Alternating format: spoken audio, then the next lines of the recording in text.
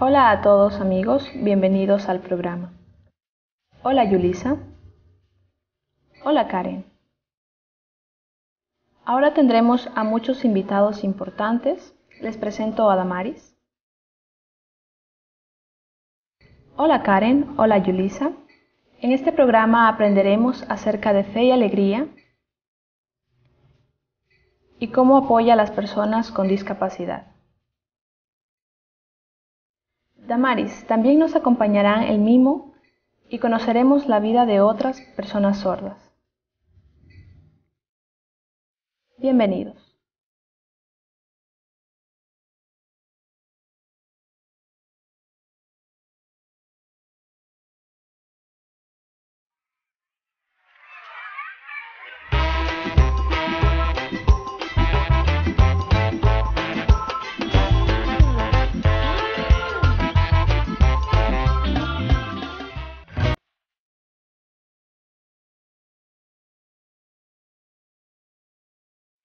Vamos a conocer la historia de la Unidad de Educación Especial Fe y Alegría.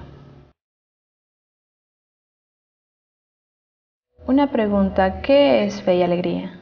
La Unidad de Educación Especial Fe y Alegría es una institución educativa que brinda educación especial a niños, niñas y adolescentes con discapacidades, discapacidad intelectual, discapacidad auditiva. ¿En qué año se fundó? Bueno, esta institución se creó en el año 1984. Es ahí cuando empezó a, funcionar, aunque legalmente está constituida o hay el acuerdo de creación a partir de 1986. Para esta gran obra como es la, UEFA, pues aportaron muchas personas importantes de nuestro medio, como en aquel entonces el obispo Monseñor Steele, eh, la reina de Santo Domingo, el alcalde de ese entonces, el señor Darío Canyá, y algunas personas como miembros de la Cámara Junior eh, aportan para empezar esta, esta, esta gran obra que se creó inicialmente allá en la Avenida Esmeraldas, adjunta a la Unidad de Educación Regular, pero después pues eh, ha ido creciendo hasta hoy en día encontrarnos aquí en esta institución, en este lugar. ¿Qué servicios brinda? Bueno, en esta institución, a más de brindar educación a niños, niñas y jóvenes con discapacidades eh, de primero a décimo año, pues también ofrecemos estimulación temprana para niños de 0 a 5 años que presenten alguna discapacidad o que estén en riesgo de presentar una discapacidad. Además de eso, pues también tenemos los servicios de terapia física, de terapia del lenguaje, y de psicorehabilitación. ¿Cómo se siente trabajando en Fe y Alegría? Bueno, yo muy contenta, muy agradecida con, con Dios, muy agradecida con la vida por haberme dado la oportunidad de poder servir a mis semejantes y en base a que esa es mi profesión, la educación especial, pues me he podido desempeñar como persona, como profesional en esta institución y me siento muy feliz de poderlo hacer. Muchas gracias.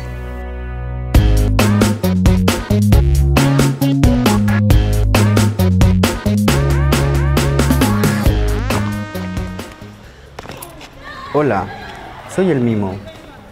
Ahora vamos a conocer más señas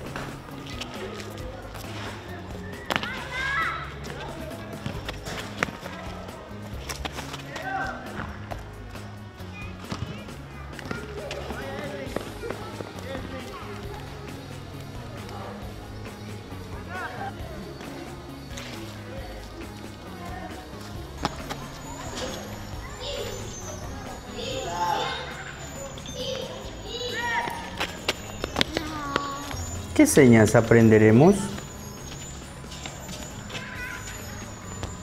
Papá, mamá, hermana, tío, primo,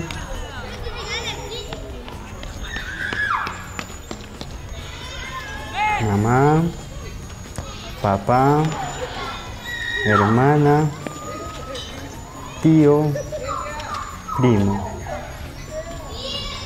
Hasta el próximo programa.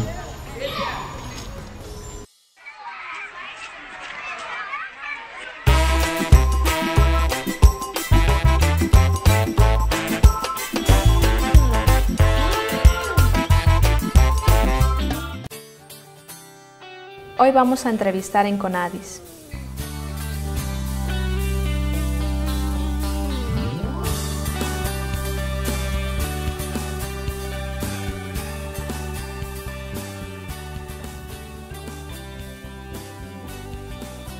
¿Cuál es el trabajo que hace esta institución por los derechos de las personas con discapacidad?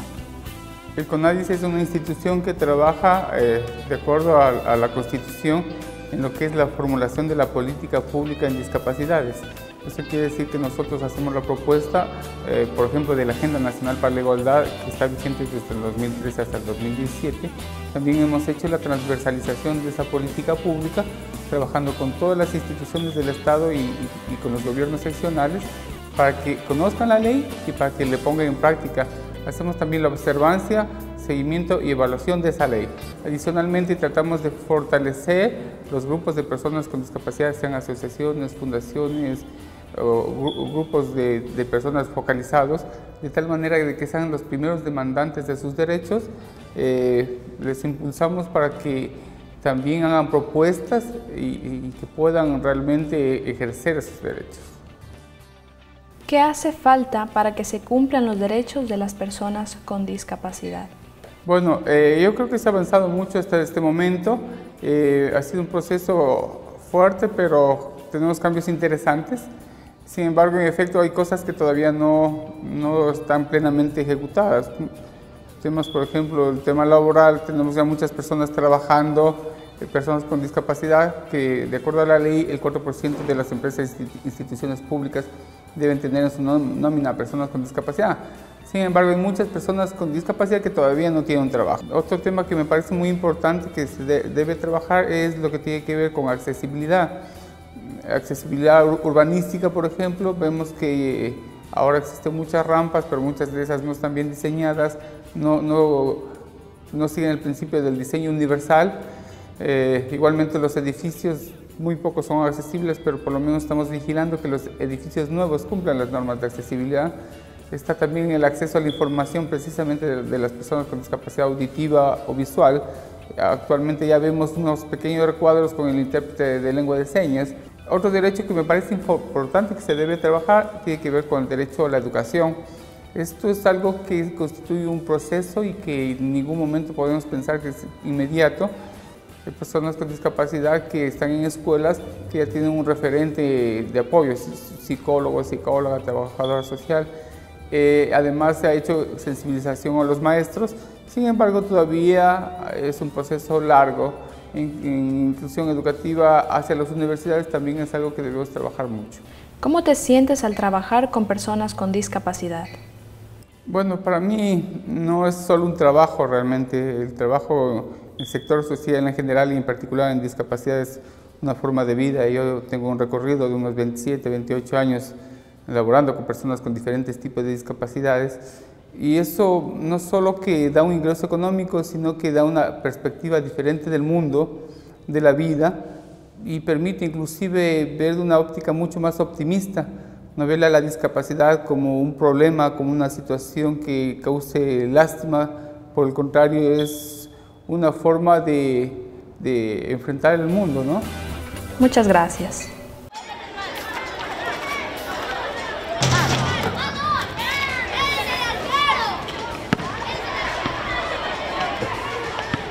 Yo les voy a contar un poquito acerca de mi experiencia.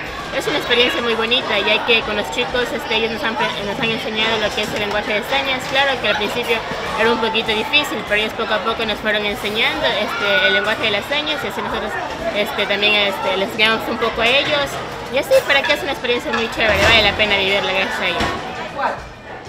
Usted dice que en matemática lo multiplica dos veces. ¿Ya? Este cuando te dice ingrese un número, usted puede ingresar cualquier número. Cualquier número. Y si le dice que de ese número que ingresó le busque la tercera parte, es lo que queda requerido para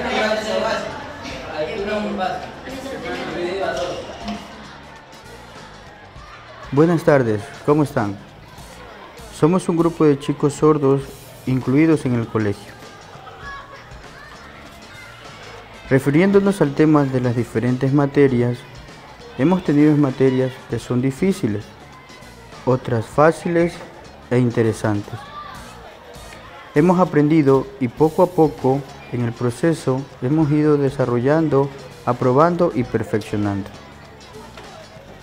En cuanto a notas, hemos subido, hemos bajado, nos hemos apoyado con los refuerzos, repetimos una y otra vez.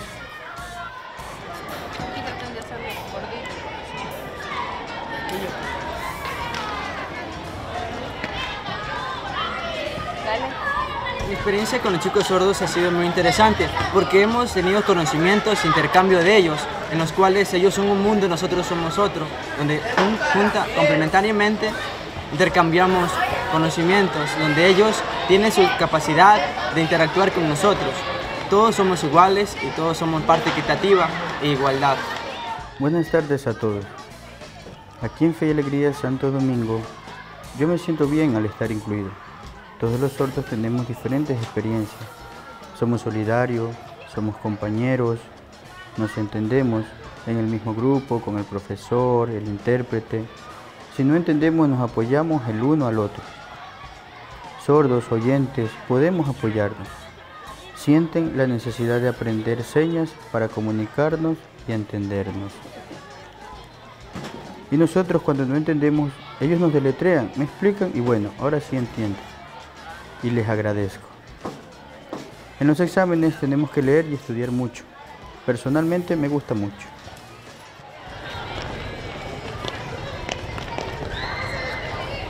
Una foto ahorita, ¿no? No.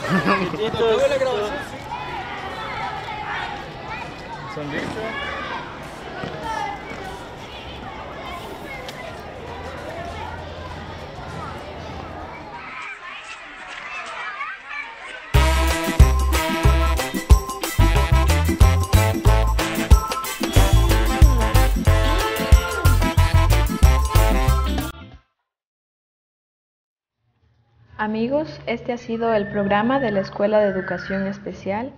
Hemos visto varias personas e instituciones que trabajan por mejorar la vida de las personas con discapacidad.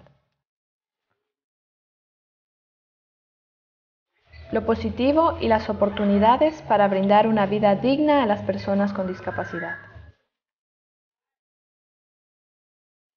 Amigos, gracias por acompañarnos. Hasta el próximo programa. Ciao.